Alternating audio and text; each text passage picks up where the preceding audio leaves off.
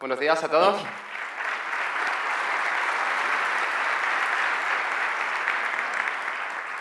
Qué tío más majo es el jodido, ¿eh?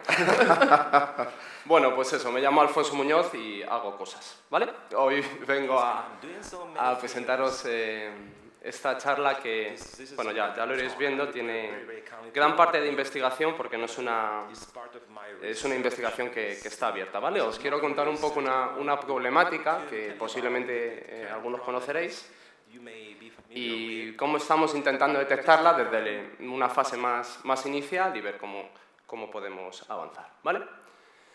Eh, me parece siempre de justicia porque he utilizado muchas tecnologías, muchos algoritmos. Eh, a lo largo de estos últimos meses gente del trabajo me ha preguntado, oye, ¿qué tal vas? ¿Estás medio loco? ¿Para qué vas a hacer esto? Etcétera. Entonces, bueno, me parece justo poner nombre de gente que, que me ha dado cariño estos últimos meses. ¿vale? Bien, ¿de qué va la charla? Vamos a intentar ver si el estego malware es un problema real en el mundo móvil, ¿vale? Vamos a juntar la pata de la esteganografía, vamos a juntar la pata del malware, lo vamos a juntar todo y vamos a ver que es una, es una locura, ¿vale? Vamos a intentar eh, ver si es posible detectarlo y si con la tecnología actual, con tecnología actual sobre todo me refiero a herramientas que están disponibles, eh, se puede hacer algo, ¿vale? Para hacerlo un poquito más llevadero, ¿qué pensáis? ¿Se puede eh, utilizar la esteganografía en, en, Google Play? ¿Manos arriba? Claro, si no, no estaría esta charla. ¡Qué cabrones! ¿Existe este malware en Google Play? Esa es más complicada. ¿Sí? ¿Por qué? Porque si no, no estaría la charla. bueno, eso no, no tiene por qué. ¿Vale? Bueno. Vamos a empezar rápido. Eh, básicamente, aunque no hay una definición formal de este malware, eh, esa definición es mía, pues es ocultación de código malicioso utilizando esteganografía. ¿vale? Supongo que esta investigación la habéis leído muchos, es de la Black eh, de octubre de 2014 y tiene cosas muy interesantes, cosas tan interesantes como los polyglots, que no sé si, si os suenan, que es la capacidad de convertir un formato a otro formato. Por ejemplo, imaginaros, tenemos un PNG, lo ciframos y se convierte en una APK. Es decir, hay investigadores que hacen cosas tan, tan curiosas como, como esta. ¿vale? Aquí os he puesto un par, de, un par de muestras de, por decirlo de alguna manera, troyanos, código malicioso, que lo que hacía era ocultar su código en cosas tan sencillas como un PNG. Pero no, no se lo curraban mucho, lo que hacían era simplemente renombraban a .png y ya estaba. ¿vale? Por ejemplo, metían un código malicioso comprimido en zip, le cambiaban la extensión y, y, no había nada más. ¿vale? De hecho, por ejemplo, si os fijáis en, esta idea de este investigador que, a mí me parece muy interesante, podéis observar cómo se aprovechan de ciertos trucos, de ciertos formatos para convertir a otros formatos. Por ejemplo, aquí se está añadiendo información a fichero, aquí se está añadiendo información extra. Es decir, de alguna manera se está ocultando información, ya sea con mecanismos más o menos tradicionales para, para conseguir eh, evitar eh, mecanismos clásicos de, de, detección. Cuando digo mecanismos clásicos de detección me refiero a las técnicas actuales, ¿vale? Sandboxing, etc. ¿Vale? Claro, eh, yo os quiero hablar de este malware, pero esto es un problema porque metemos dos patas eh, muy complicadas. Por un lado metemos el malware y por otro lado vamos a meter la esteganografía. Sería muy, muy largo de explicar técnicas actuales que, que, se utilizan para detectar malware, sobre todo en un, en un, mundo móvil, que es un mundo más, más esquivo, más cambiante, más dinámico, pero eh, nosotros desde hace ya unos, unos cuantos meses nos venimos dando cuenta que si queremos enfrentar el problema de la detección malware en un mundo móvil de, de una manera real, aparte de las soluciones existentes, antivirus, otro tipo de tecnologías, es importante abordar otro, otro tipo de pensamiento lateral, digámoslo así, ¿vale? Como, como comentábamos ayer en la, en la, mesa redonda. Por ejemplo, si, supongo, si yo hiciera aquí una encuesta, eh, ¿qué pensáis? ¿Que el malware habitualmente tiene más permisos que el goodware? ¿Qué pensáis? ¿Quién piensa que el malware tiene más permisos que el goodware? No miréis la transparencia. ¿Vale? Pues igual que alguno de aquí lo piensa la mayoría de publicaciones científicas que, están, que se han publicado, ¿vale? Os puedo decir que son mentiras, ¿vale? Mienten como descarados.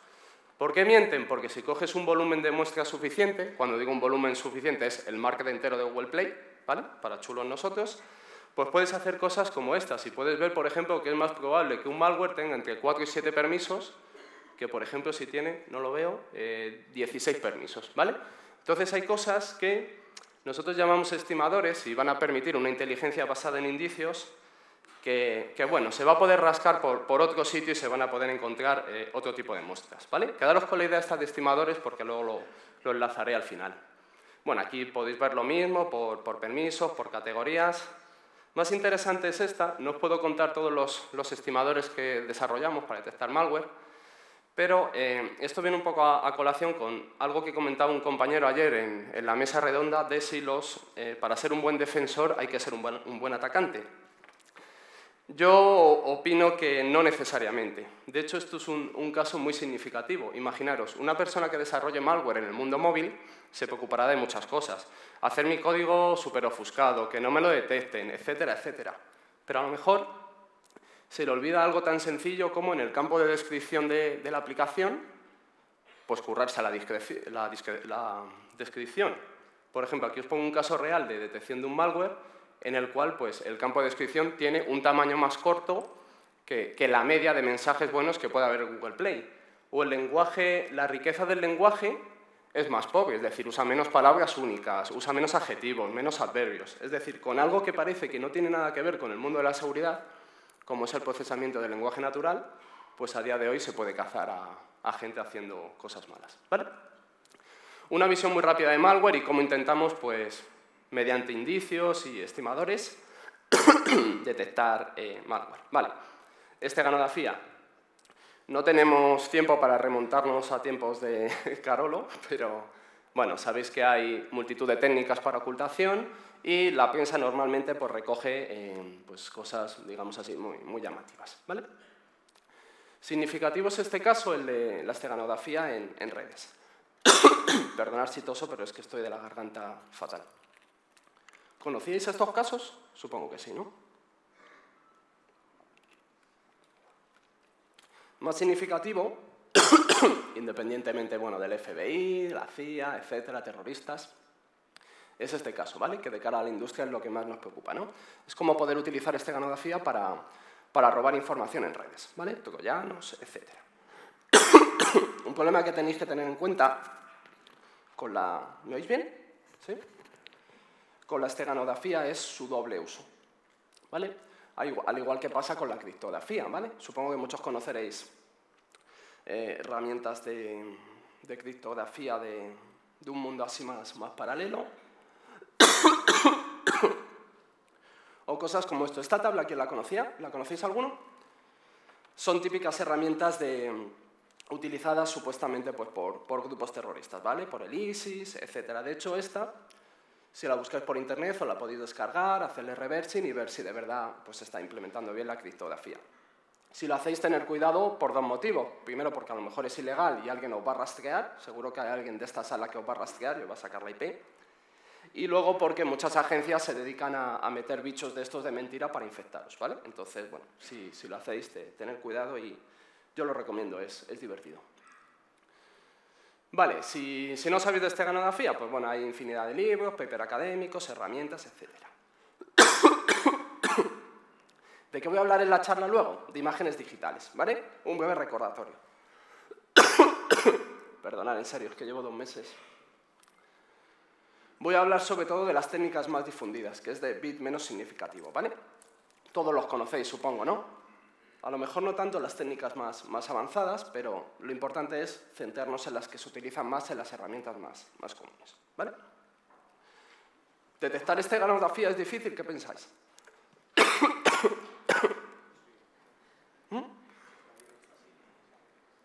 Román, como siempre, tiene, tiene razón. La esteganografía, si está bien hecha, es muy difícil de detectar. ¿vale? Primero, antes de hablar de cómo detectaríamos esteganografía, tenemos que pensar al menos algunos de los pasos iniciales que, hay, es decir, dónde podemos ocultar.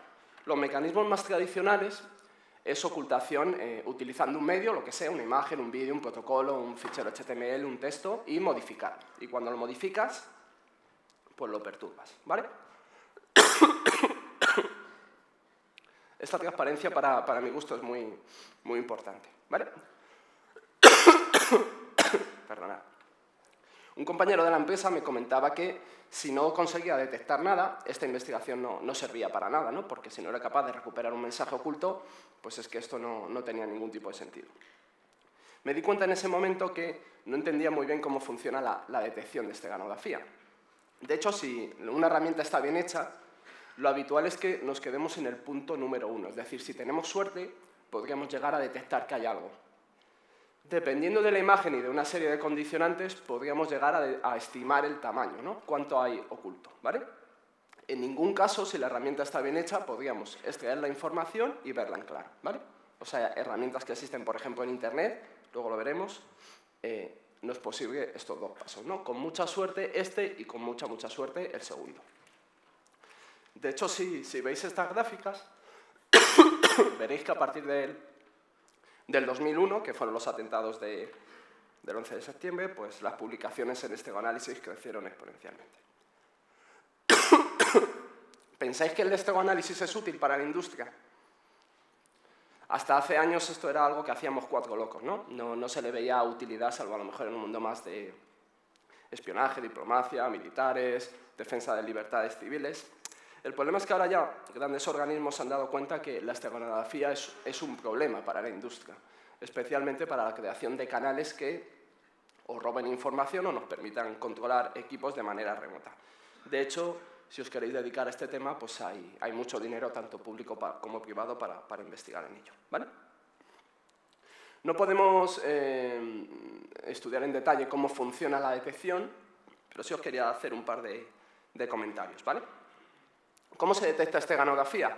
Hay dos, eh, dos patitas, digamos, básicamente. Una serían algoritmos estadísticos, con una serie de características, y otro, algoritmos de aprendizaje automático. ¿Cómo pensáis que funcionan estos primeros? La idea es muy sencilla, imaginaros. Si tenemos una estantería llena de libros y vemos un jarrón, ¿cómo sabemos nosotros que un jarrón no es un libro? Es un símil un poco extraño, pero sabemos lo que es un libro y vamos comparando lo que es un libro con un jarrón. Entonces nos damos cuenta que un jarrón pues no es un libro, ¿no? Entonces detectamos que ahí hay algo raro. ¿Cómo funcionan estos algoritmos? De la misma manera. Vamos a ver si mis vecinos son raros. Un grupo de píxeles que todos son azules, si uno es rojo, digo, hostias, esto es, es, raro, no encaja aquí bien, ¿no? Y con una serie de procedimientos matemáticos podemos medir cuántos vecinos raros hay. ¿Qué nos permitiría eso? Detectar si hay información oculta, ¿vale? ¿Cuántos vecinos raros hay? Si podemos hacer eso, podemos estimar eh, cuál es la cantidad de información oculta, ¿vale? Si tenemos la capacidad de saber las zonas más o menos donde está la información,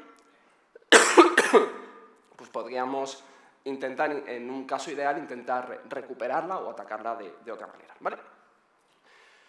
Los ataques que a mí particularmente me gustan más son los que se, eh, se basan en aprendizaje automático. Son aquellos ataques los cuales tú no necesitas saber la técnica que ha usado el atacante para intentar detectarlo. Por ejemplo, cogemos un, no sé, un PNG típico, intentamos modelarlo de alguna manera, pues el PNG típico eh, tiene estos valores de, yo qué sé, de luminancia, de lo que sea.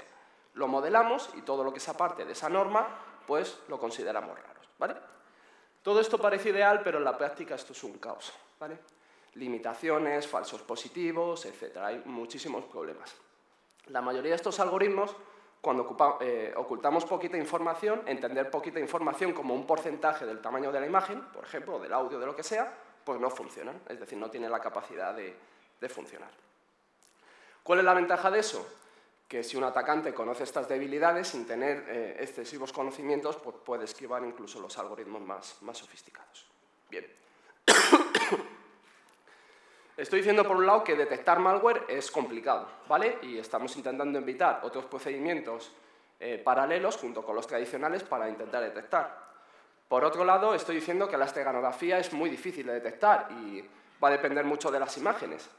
Entonces, lo, eh, que entra en mi cabeza es, si esto es difícil, ¿por qué lo, junto y voy a intentar detectar? De hecho, quiero hacerlo de manera masiva, es decir, quiero lanzarlo contra millones de imágenes, por ejemplo, y, ver qué sale ahí. Entonces, como gente sabia de compañeros de trabajo me decía, ¿estás loco? Digo, bueno, eh, estoy loco, pero más gente antes que yo ha estado loca, ¿no? Entonces, aquí os pongo un ejemplo, es, mítico, ¿no?, de, eh, de detección de, este, de esteganografía, en este caso era en, en, bueno, en eBay, fue en, Usenet. Y era, bueno, procesó dos millones de imágenes, hizo toda una serie de técnicas de, de estegoanálisis. ¿Y qué pensáis que encontró? Pues nada, después de un currazo enorme no, no encontró nada porque es un tema realmente complicado. Eh, y lo difícil que sea complicado no es que detectes o no detectes, es que incluso si detectas algo no sabes si de verdad lo que hay ahí es o no es esteganografía porque puede haber muchos falsos positivos. ¿vale? Con la experiencia de Niels, eh, claro, uno diría, bueno, pues él ya ha demostrado que es una locura. Bueno, vamos a intentar trasladar esta idea al mundo móvil y veremos que cuando encontremos un callejón sin salida, pues puede haber otras maneras de poder intentar detectar si hay estego malware o, o no hay estego malware. ¿vale? Como somos así de chulos, ¿qué vamos a hacer? Vamos a intentar buscar estego malware en Google Play, ¿vale? En el market entero. No es que seamos genios, hay, tendencias pues, que dicen que las grandes empresas eh, pues van a utilizar técnicas de Big Data y otro tipo de, tecnologías para procesar datos masivamente contra fraude y, otro tipo de tecnologías, ¿vale? Maliciosas. Bien, la foto del patito va en honor a nuestro líder. Lo primero que me pregunto, quiero detectar o, o ver si es posible detectar este Go malware. ¿Qué es lo primero que, tendría que hacer? Ver si Google Play, que es el market donde me centro, tiene capacidades de esteganografía, porque si no se puede ocultar nada, pues la investigación se, termina. ¿vale? No sé si esto lo ha hecho alguien antes, al menos no, lo he encontrado yo documentado, pero bueno, si os vais a, Google Play y publicáis una, aplicación, veréis nuestro usuario, que es Boquerón, apps. Eh, veréis que podéis subir imágenes típicamente JPG y PNGs. ¿vale? Vamos a empezar por las, PNGs, que son las conchas Kodan, ¿vale? Tenemos ahí dos. Si mirad transparencia, ¿pensáis que se puede ocultar con estego? Sí. Bueno. ¿De qué dos maneras se puede ocultar? Podemos añadir información al final de fichero, Google Play ni se entera, o podemos usar técnicas clásicas, ¿vale? Bit menos significativo o variantes. Para recuperar la información, lo único que tenéis que tener en cuenta es que la URL que os proporciona Google es de su formato propio, entonces tenéis que tunearlo un poquito, ¿vale? Tenéis que quitar el igual y a partir de ahí recuperáis la información y, podéis hacer lo que queráis, ¿vale? Con lo cual, al menos desde el punto de vista de PNG, el market de Google Play eh, permite establecer un canal esteganográfico. ¿vale? ¿Qué pasa con los JPEG? El tema ya se complica un poco. Cuando tú subes una imagen, Google Play rescala el, JPEG, con lo cual las, las técnicas más sencillas de esteganografía se anulan. Por ejemplo, si añadís información al final de fichero, eso se pierde. Y, en principio, si ocultáis con técnicas tipo bit significativo o similar, también se pierde. Ahí pongo un asterisco en que no se puede hacer ocultación en JPEG porque estoy casi seguro que sí se puede, pero de momento no lo he entonces no me parece ético. ¿Por qué estoy casi seguro? Porque ya ha habido ejemplos similares en redes sociales como Facebook que rescalan imágenes, por ejemplo con la extensión Secret Book, no sé si la conocéis, que básicamente lo que utilizan son algoritmos típicos de marcas de agua para eh, ser robustos frente al rescalado y, ocultas esteganografía. ¿vale? Pero bueno, de momento nos quedamos que con PNG se puede, con JPEG técnica final de fichero no, y LSB en principio no, pero yo me jugaría una caña que sí. ¿vale? Bueno, la aplicación la tenéis ahí... la tenéis disponible, ¿vale? Desde enero y lo podéis bajar, juguetear, etc. La aplicación no la instaléis porque es porquería, ¿vale? es basura. Vale, seguimos. Se puede en el market, me he centrado en las imágenes, pero en el market hay texto, podríamos hacer cosas de esteganografía en texto, ¿vale? Pero eso me, parecía muy fácil, entonces eso lo, dejamos fuera, ¿vale? Eh, ¿Qué más podemos hacer? Eh, ¿Pensáis que se puede ocultar información dentro de los APKs? Pues sí, ahí hay barra libre, porque Google Play no hace nada. No sé si detectará internamente, porque lo desconozco, pero no hace nada. Es decir, podríamos ocultar en los PNGs, en los JPG, en los XML, en los DES, en lo que queramos, ¿vale? ¿Para qué, qué podemos hacer con esto? Pues podemos hacer un, montón de cosas. Podemos hacer desde ataques basados en recursos locales, imaginaros una APK, un juego, que tiene una imagen, ¿no? Pues en esa imagen podríamos ocultar código malicioso que luego ejecutaríamos. ¿Cuál es la gracia de esto? Que las típicas medidas de protección, por ejemplo, lanzan una aplicación en sandboxing o lo que sea, y realmente ese código no se va a ejecutar, por ejemplo, si no se da una serie de condiciones. Es decir, en la práctica este tipo de técnicas no, se detectan a día de hoy. Podríamos utilizar recursos locales del APK o el APK conectarse a una URL, descargarse, por ejemplo, una imagen que tuviera el código malicioso. ¿Qué podemos hacer? Eh, echar la imaginación. Aquí no hay, no hay límite. Por ejemplo, eh, un caso que ponemos muy, muy tontorrón es ocultar un número de teléfono o una IP y en función del terminal que, ejecuta esa aplicación, ver, por ejemplo, si el rango de direcciones es del Ministerio de Defensa y lanzar el ataque. ¿vale? O sea, se pueden hacer tanta imaginar un poco el, potencial de esto, porque a día de hoy, hasta lo que yo sé, no se puede detectar. Esto en principio es teoría, esto se, esto se deduce. Claro, la pregunta importante es, ¿hacemos una prueba de concepto para ver si de verdad Google Play eh, permite esto? Permitidme aquí un poco de paciencia porque lo, vamos a ver al final, ¿vale? Y así os dejo con un poco de, misterio. Por tanto, ¿es posible el uso de esteganografía? Chuck Norris nos dice que sí y nadie tiene huevos de llevarle la contraria, así que... Vale, bueno, vamos al experimento concreto, ¿vale? ¿Cuál es mi intención? Intentar detectar este malware o al menos empezar a desarrollar la tecnología para cuando eh, esta gente, especialmente los de Ucrania, que comentaba ayer Román que, no, que ven la router, eh, pues supongo, empiecen a desarrollar eh, este tipo de bichos. ¿vale? Principalmente, nos, al detectar este malware, podríamos centrarnos en varias cosas, pero yo me he centrado especialmente en imágenes digitales. ¿vale? Si, si vierais los datos, fundamentalmente en una APK lo que hay por este orden son PNGs, XML y JPEG, ¿vale? en este orden. PNGs hay muchísimos, XML hay muchísimos y JPEG hay, menos. ¿vale? ¿Qué voy a utilizar para, esta investigación? Voy a usar una base de datos que utilizamos en, un producto comercial que bueno, realiza un, montón de cosas, es decir, inteligencia en Android, que creo Chema os, comentará algo. Pero eh, yo no os quería hablar de la herramienta con la que ya hemos publicado pues, diferentes investigaciones, sino de una base de datos concreta que utiliza esa herramienta. ¿vale? ¿Qué tiene esa base de datos? Y aquí es, lo fuerte. Bueno, para que os hagáis una idea del volumen de, los datos que hemos procesado, la base de datos tiene unos 11 teras, ¿vale? Tenemos más o menos unos 2.100.000 APKs, ¿vale? Es decir, prácticamente... Decir el, el market entero es complicado porque es muy dinámico y va creciendo, ¿vale? Esto es una instantánea, pero que tengáis un poco la idea de las dimensiones que sería eh, hacer una monitorización continua. Y para que os hagáis una idea, pues más o menos, si simplemente nos fijáramos en los enlaces del market, eso que os he enseñado que se puede hacer Estego, pues estaríamos hablando solo de eso con 11 millones de, imágenes. Es decir, gracias. Es una, es una auténtica burrada, ¿vale? Para hacer las pruebas que he usado, tres portátiles, dos discos duros, ahora os digo por qué, cuatro teras y un teras. Parte de, de la experimentación se ha hecho en la nube, ¿vale? S3, S2 software de terceros y propio, mucho tiempo, cinco o seis meses y sobre todo muchísima paciencia. ¿vale? ¿Por qué os decía lo de los discos duros? Porque hace tres semanas el de 4 teras se murió, ¿vale? Murió. Entonces perdí ahí un tiempo valioso, recuperamos parte, pero otra parte tuve que empezar de cero. Así que, bueno, las últimas semanas he, he dormido poco, ¿vale? Bueno, eh, fuera apenas, eh, ¿qué, es lo que me interesaría a mí detectar en un mundo ideal, sobre todo de cara a este malware, ¿no? a un potencial atacante que ocultara código malicioso? Al menos parece que tiene sentido estos tres puntos. Por un lado, intentar detectar si alguien ha ocultado algo, ¿no? Pero como veíamos con el primer investigador de Google, eso va a dar muchos falsos positivos. De hecho, ahora lo veremos, da mucho y hay a veces que, que lleva callejones sin salida. Quizás, además de eso, es interesante buscar otro tipo de, estimadores. Por ejemplo, si detectamos que una APK oculta información en un fichero y además detectamos que en esa APK hay rutinas que permiten hacer el proceso inverso a la esteganografía y además detectamos, por ejemplo, que hay funciones concretas que, por ejemplo, te dicen, oye, yo cargo esta imagen e inmediatamente hago un desloader, o sea, cargo lo que has traído de esa imagen. Pues, o sea, hay cosas claras, ¿no? Entonces, se pueden apilar esa serie de, de condiciones y hacer la herramienta más, más inteligente. ¿vale? De momento, aunque el punto 2 y el punto 3 lo hacemos de manera experimental, os voy a comentar sobre todo el, punto 1. ¿vale? ¿Qué he hecho en este experimento que os voy a contar partiendo de esos 2 millones de APKs?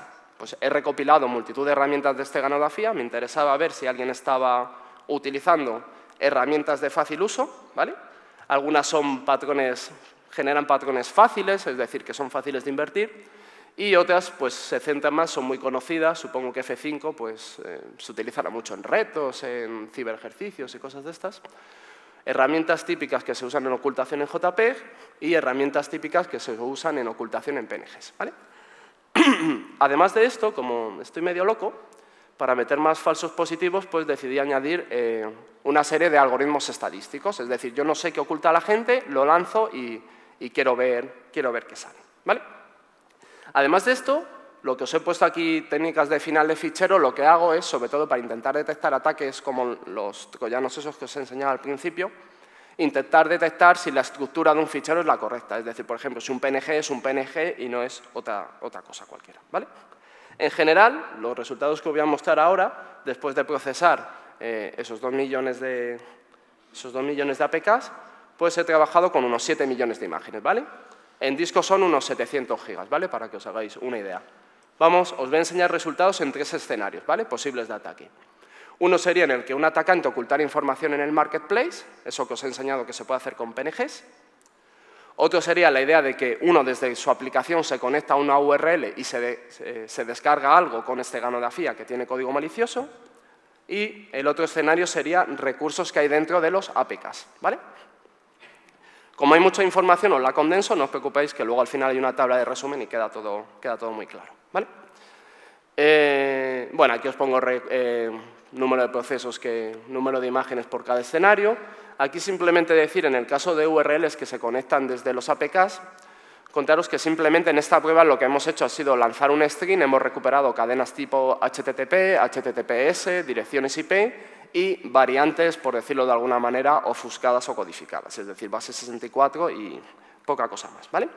Si buscamos solo URLs que conecten a imágenes, de esos 2 millones se nos reducen a unas 74.000 APKs. Y de ahí, si procesamos todos los enlaces, nos quedan solo unos 54.000 enlaces con imagen. ¿vale? Aquí tenéis los datos. Esta idea de aplicaciones mutantes luego lo veremos, pero es muy interesante, porque nosotros nos podemos conectar a, una URL y que esa URL sea un PNG, pero eso puede cambiar. Es decir, esa instantánea solo vale en ese momento, porque puede, puede ir cambiando. ¿vale? En este otro escenario, y luego lo veremos con más detalle, eh, lo que voy a intentar es procesar todo el contenido que hay dentro de los APKs. ¿vale? Esto es un proceso que está, sigue en curso porque es, bastante costoso, pero para que os hagáis una idea, JPEG en, Google Play hay como unos 3 millones y PNGs hay como unos 30 millones, ¿vale? Es decir, son un, orden de magnitud, ¿vale? Como los recursos eran un poco limitados, preferí centrarlos para, para cerrar uno de los temas y aquí tenéis un poco la idea de los porcentajes. De JPEG está más o menos el 50% del market barrido y de PNGs, aunque son bastantes, es, más poquito. ¿vale? Bueno, vamos a, ir comentando resultados. ¿vale? Vamos a ver qué encontramos si miramos la estructura típica de, un PNG o de un JPG. ¿vale? Bueno, ahí os, pongo una tabla con los resultados por cada escenario. ¿vale? ¿Qué encontramos? Yo, no sé qué va a encontrar. Es, o sea, esta investigación es un poco así a la desesperada. O sea, no, sabía si esto iba a, ser, iba ir bien, iba a ir mal. Bueno, ¿Qué nos encontramos? Sobre todo eh, mucha basura, ¿vale? Es decir, nos encontramos imágenes que son otro tipo de imágenes, por ejemplo PNGs que son JPEG, y, es decir, la, gente no, le cambia las extensiones, mucha basura, relleno, encontramos como muchos metadatos de herramientas que, por ejemplo, tenemos una imagen, la subimos a un sitio web que realizamos un rescalado y esa página web añade como su pequeño, su pequeño log al final de fichero, ¿vale? Por ejemplo, ROMPIC hay muchísimas, y muchísimas hay miles de imágenes que tienen porquería con ROMPIC. Hay muchas imágenes que meten información al final de fichero de Photoshop. Esto no, entiendo muy bien por, quién, eh, por qué hay imágenes que llevan añadidas al final de fichero páginas HTML. Por ejemplo, estos dos enlaces, si os conectáis, siguen vivos, si no los han quitado esta noche, es esta imagen, por ejemplo, y dentro pues tiene esta página web. ¿vale? Yo supongo que son, que son errores de estas páginas donde te descargas estas imágenes, pero como esto, o sea, porquería de este tipo hay, hay mucha. ¿vale? Luego te encuentras cosas curiosas como textos de credenciales de login no, encontrados, cosas así que, bueno, luego si, si haces reversión a la aplicación te das cuenta que tienen problemas de seguridad y te vienen las credenciales en la aplicación y, bueno, puedes hacer todo tipo de cosas. Más interesante es este caso, ¿vale? Eh, una serie de ficheros PNG que realmente no eran PNG, sino que eran base de datos. ¿vale? Esto imaginar, esto es una aplicación que se conecta a una URL que es un PNG, pero no es un PNG, es una base de datos. ¿vale? Imaginar esto yo lo hago en un... Esto está hecho con script, ¿vale? Porque es, es lento y yo estoy haciendo otras cosas. Imaginar cuando, cuando me encuentro algo así, que no es PNG, el sagrado Corán, a mí ya me empieza a entrar cierto, cierta cosilla, y digo, bueno, hay base de datos, vamos a ver qué tiene. Aquí empieza a la grande, violencia, yo me empiezo a cojonar. Digo, voy a llamar a César porque aquí hay, hay algo serio, pero parece ser, hasta lo que hemos visto, que es simplemente una especie de traductor, ¿vale? Independiente, traduce, traduce entre idiomas, independientemente de que lo que digan los vídeos sea un disparate, pero no sé yo si es muy legal el traducir cosas entre idiomas. Más curioso es, bueno, estos son, los tenéis los enlaces, es real, es decir, os podéis descargar la base de datos. Más interesante, no sé si se ve, es esta otra base de datos. ¿Alguien sabe qué idioma, qué idioma es este? ¿Alguien que no sea aquí? ¿Se está por ahí? Por eso no lo sabéis. No sé si hay pistas. ¿Qué idioma pensáis que es este? Google, Google dice que es turco, no tengo ni puñetera idea. No, es, es turco y de hecho podéis ver, hay columnas aquí, es turco, ¿vale? ¿Qué pensáis que tiene esto? Esto es mucho más divertido que el estego malware. Tiene drogas. Es decir, tiene, tiene URLs intercambian. Imaginaros lo, raro, una aplicación que se conecta a un PNG, que es una base de datos para intercambiar recetas para cocinar con hachís. Es cojonudo. Os lo podéis descargar y lo comprobáis, está.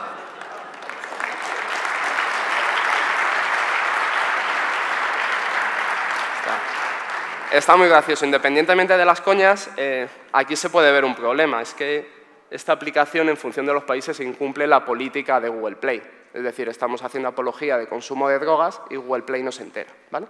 Esto le llamamos aplicaciones mutantes porque yo me puedo conectar a una URL y esta base de datos ahora habla de esto, pero mañana podría hablar de, cualquier otra cosa. ¿vale? Son aplicaciones que, tenemos que tener controladas.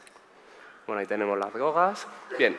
Y bueno, luego de esto, bueno, no teníamos mucho tiempo, hay mucha basura. Hay imágenes que por algún motivo tienen rastro de cosas raras, ¿no? Haces el revés en la aplicación y no tiene nada que ver. Entonces no sé muy bien por qué hay guarrería, o sea, hay muchísima guarrería, ¿vale? Conclusión, bueno, es mejor mirar para otro lado. PNGs. Os voy a explicar primero lo PNGs y JP. Esto de PNGs es más, más acto de fe, porque realmente no tenía una, una aplicación concreta que detectara, sino lancé en general. Es decir, quería eh, ver en tiempos actuales el experimento que hizo el, de Google. ¿vale?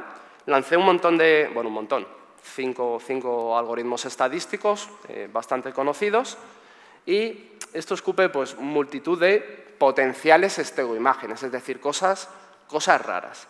Como veis, son muchísimas, esto no se puede ver a mano. Si lo ploteamos de alguna manera, pues podemos ver cosas de esta manera. Podemos ver cómo, aquí tenéis el porcentaje de ocultación y aquí el tamaño. ¿no? En el primer escenario podéis ver cómo, cómo están muy centradas, cuando nos conectamos a una URL parece que están más dispersas, y cuando nos conectamos... ¿Me ha pasado? Sí. Y cuando nos conectamos a una URL veis que son ficheritos muy pequeñitos y que parece que el algoritmo de detección no funciona bien. ¿vale? ¿Qué conclusiones podemos sacar de esto? Primero, esto simplemente con esta iconografía no, no, se puede abordar. ¿vale? De hecho, pruebas que estamos haciendo a ver si esos enlaces están en el código, etcétera, no, no se encuentra nada. ¿vale? Así que de momento esto, es una vía complicada de analizar y de trabajar.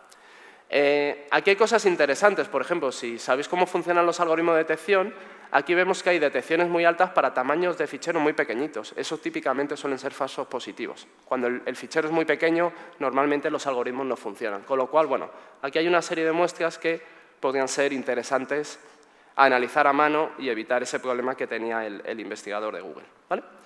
Aquí lo mismo, esto, no se puede abordar, ¿vale? Esto es un problema, luego lo veremos en las conclusiones y esto es ideal para hacer bichos que a día de hoy no se puedan detectar, ¿vale? Luego lo veremos. Pero bueno, aquí hay cosas, ¿no? Con un tamaño relativo, un buen margen de detección que podría tener cosas interesantes. Llegados a este punto, esto es un callejón sin salida. La ventaja que tenemos es que aquí podemos asociar una aplicación a esta herramienta. ¿vale? Yo no sé si realmente es este ganografía o no, pero bueno, voy a intentar ver si al menos se utiliza como si fuera este malware. ¿vale?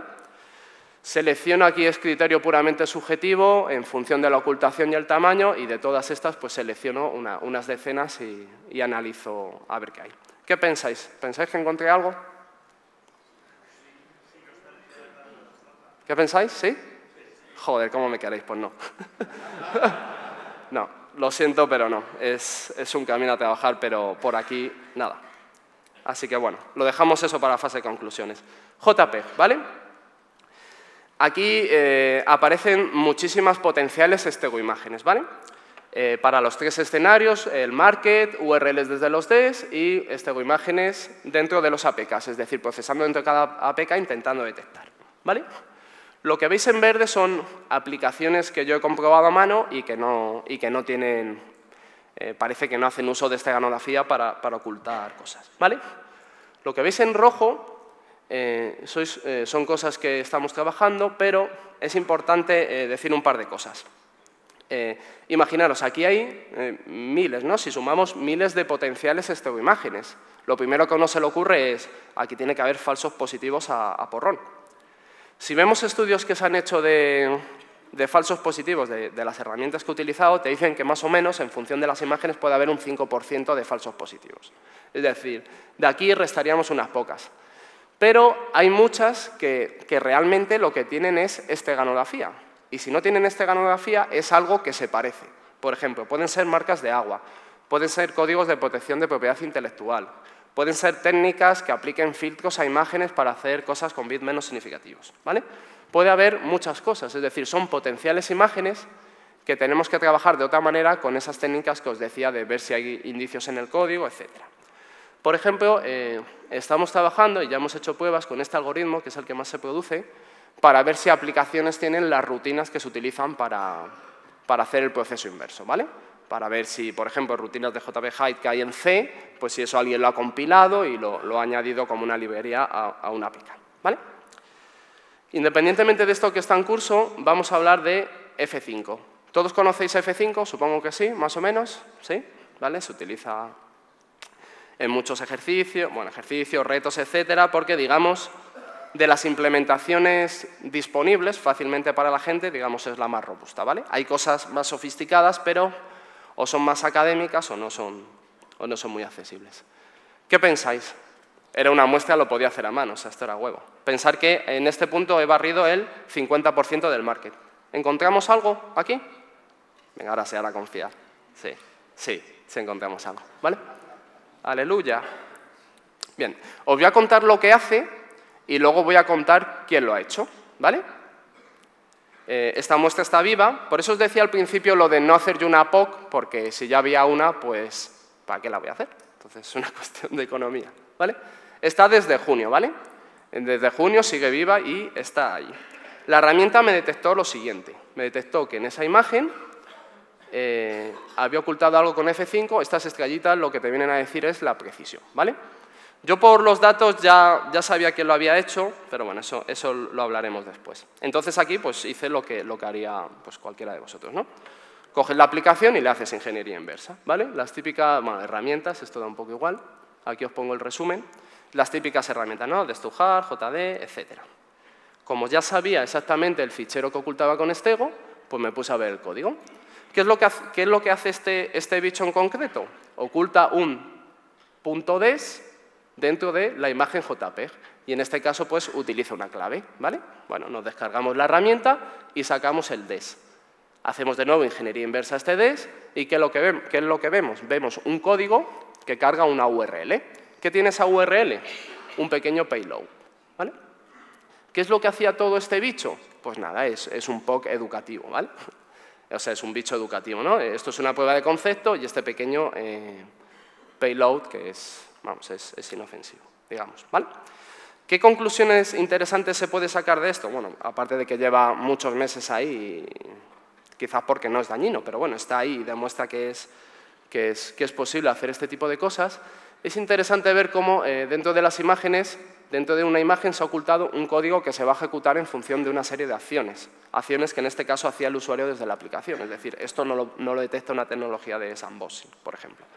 Luego lo chulo además es que este D se conectaba a una URL de fuera, con lo cual técnicas de recursos locales no funcionarían y técnicas que directamente en el primer DES intentaran buscar, o sea, en el APK principal intentaran buscar URLs a terceros, pues tampoco encontrarían, ¿vale?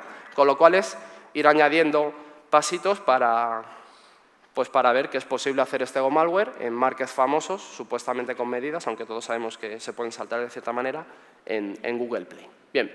¿Quién son los creadores? Pues los creadores son, son investigadores de, la Universidad Carlos III y fue curioso porque cuando lancé la herramienta vi el nombre, yo les conozco de, hace años porque compartimos intereses diversos y me hizo gracia, digo, qué cabrones, unos españoles ocultando y otros detectando, ¿no? Es la historia de siempre, siempre hablamos de fuera, pero en muchas cosas yo creo que les llevamos bastantes años. Ah, no, ya estoy terminando, joder, qué rápido. Vale. Bueno, aquí os he resumido los, resultados, ¿vale? Para sacar conclusiones interesantes. Aquí tenéis muchos datos, luego cuando se, presente la, cuando se publique la PPT lo podréis ver. Cosas interesantes, por ejemplo esto. Analizando todos los JPEG vemos que para las herramientas utilizadas hay poquitos que se detectan. ¿Qué quiere decir eso? Quiere decir que a día de hoy es una mala opción usar, como hacía el POC que hemos visto antes, usar JPEG para ocultar información dentro de, una APK o una URL. Es una mala idea porque es muy fácil eh, barrer todos los ficheros y en el caso de si la herramienta es más o menos conocida, incluso es relativamente fácil incluso mirarlas a mano. Con lo cual, la POC que hemos visto antes, en un mundo real, si quisiéramos hacer algo bien, eh, no, sería, no sería una buena opción. ¿vale? Lo interesante son eh, los PNGs. ¿vale? Hay muchísimos. Os comentaba antes que había 30 millones. Si le aplicamos técnicas actuales, eh, salen un montón de posibles falsos positivos o no. Lo peligroso no es eso, bueno, eso sí es, lo, complicado es esto. Son ficheros, en el caso de los que están dentro de los APKs, de tamaño muy reducido. Si sabéis un poco de esteganografía, os podéis dar cuenta que esto es un problema muy gordo.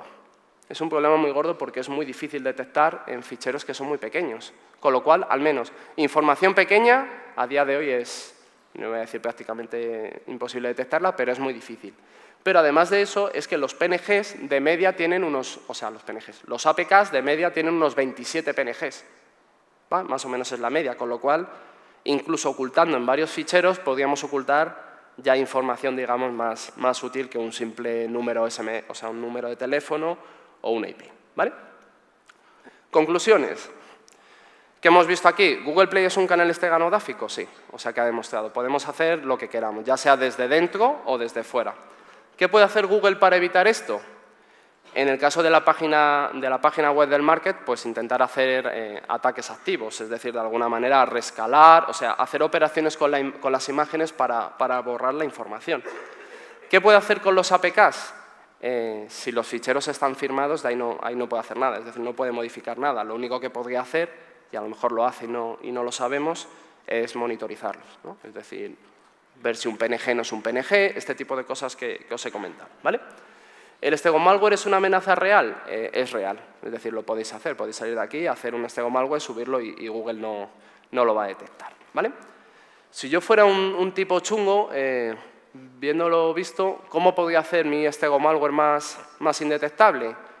Pues o bien me centraría... URLs va, por gustos porque hay gente, hay aplicaciones que típicamente si se conectan fuera, pues hay gente que ya las considera sospechosas, pero eh, si no, los APKs es una buena opción y los PNGs. Simplemente haciendo eso eh, podéis hacer eh, código que oculte información y ejecutarla con vuestros fines maliciosos. ¿Es común el stego malware en Google Play? Bueno, no, está analizado completo, pero la tendencia eh, parece, indicar que no lo es. O al menos si lo, si lo, es, es tan sofisticado que con estas pruebas pues, no se ha podido detectar. ¿Estamos preparados de cara a la industria? Bueno, ahora estamos un poquito más preparados que hace cinco meses, pero está claro que las herramientas implementadas no, no son sofisticadas y es necesario mejorar mucho la tecnología de detección de este análisis. Hay mucho trabajo académico, pero bueno, muchos son mentiras, por desgracia, y otros pues hay que probarlos. Y sobre todo, con la idea que quiero que os quedéis, sobre todo con lo que hablábamos antes de, al principio de la presentación de este malware, o sea, de malware, es que es necesario necesariamente alguna herramienta o algún sistema de monitorización continua y sobre todo, debido al, escenario tan cambiante, ir recopilando indicios y de alguna manera eh, sacar inteligencia de ahí. ¿Vale? Nada más. Muchas gracias.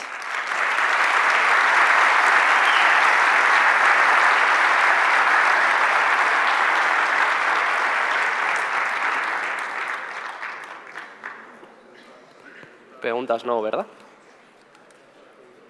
¿Sí?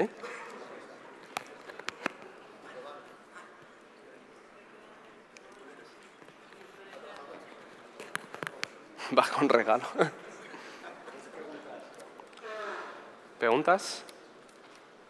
¿Sí?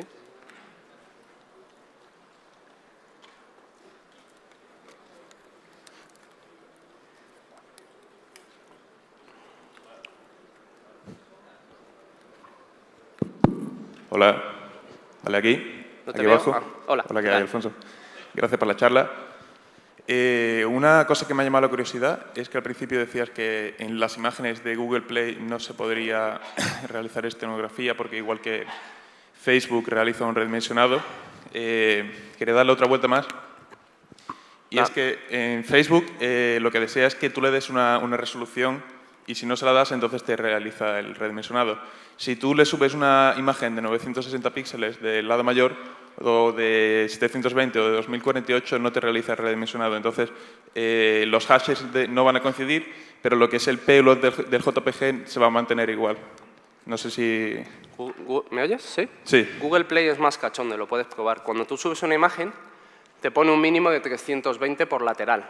Cuando tú subes el JPEG, él hace su proceso, tú te lo descargas y hay uno de los laterales que está por debajo de 320. Es decir, no puedes forzar la misma escala que tiene él.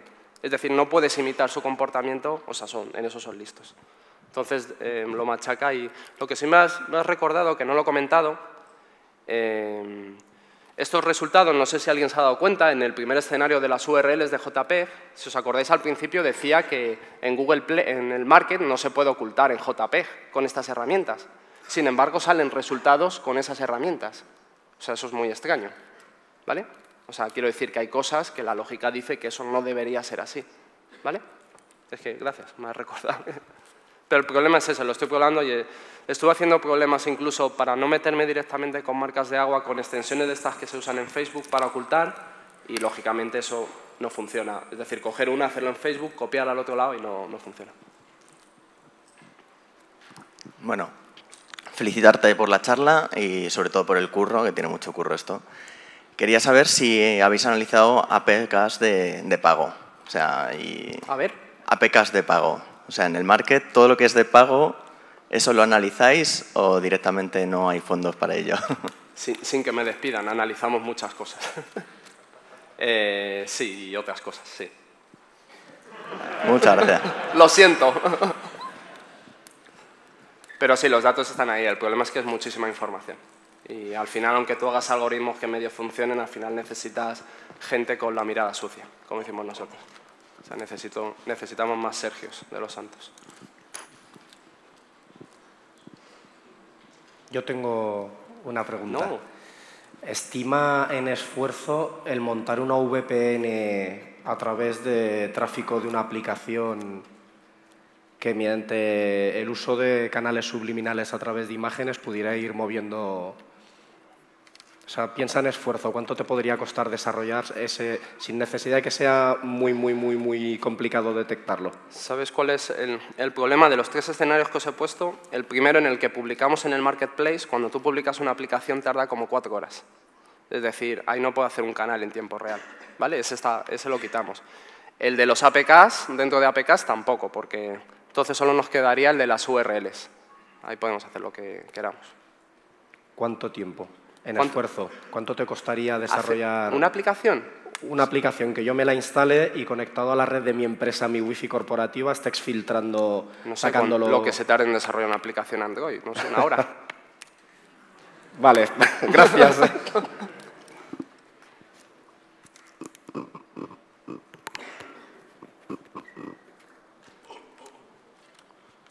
Vamos, una hora, no sé lo que... Lo que... Ayer en la empresa hay gente que lo hace en 10 minutos, pero quiero decir lo que está... Se, supone que venimos a tranquilizar y concienciar. bueno, pero lo siento, es lo que hay. Eh, bueno, Alfonso, muchas gracias. Eh, yo una pregunta rápida. ¿Habéis eh, investigado en Google Play por alguna razón específica? O, vamos, porque veis, por ejemplo, que... No, no te oigo. si, si, habéis analizado Google Play eh, por, porque tenéis el PAD 5 preparado o, era, vamos, me refiero si, si hay alguna razón. El, motivo fundamental, y es, eso es culpa mía porque quería un escenario real. O sea, hay escenarios en el que eh, analizan mercados, eh, market alternativos. Pero no, ahí encuentras porquería, pero eso no tiene mérito. O sea, no me instalo porquería y no la tengo. O sea, ya, ya, algo real. Sí, si me refería más a por qué no la App Store, por ejemplo. ¿El? ¿Por qué no la, la App Store? Eh, pues por dinero, básicamente. vale. Porque en estas aplicaciones tú te puedes descargar a las aplicaciones gratuitas, el otro tendrías que pagar y entonces no... O sea, ese es el motivo fundamental de poder... Bueno, y también por penetración. O sea, quiero decir, Android yo creo que tenemos de aquí casi todos. En, en algo, si no es en un marco digital, en algo tenemos... Pero al tenor de la pregunta que te está haciendo y para quitarle tópicos a la gente de la cabeza, se pueden ocultar aplicaciones e imágenes que tengan información subliminal en App Store, de la misma manera. Sí, sí, claro. Sí, sí, o sea, el concepto, o sea, lo que no puedo hacer yo es un experimento a gran escala, pero, o sea, podríamos hacernos un desarrollador y probarlo y, de hecho, podríamos hacerlo. Lo hacemos. Muchas gracias. Venga. Muchas gracias, Alfonso. Gracias a vosotros.